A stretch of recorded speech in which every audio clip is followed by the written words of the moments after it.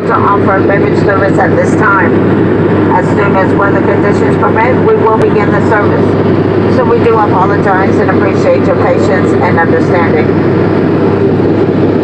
So sit back and relax and enjoy the rest of this 56 minutes of flying time from wheels up to wheels down. And once again, welcome aboard.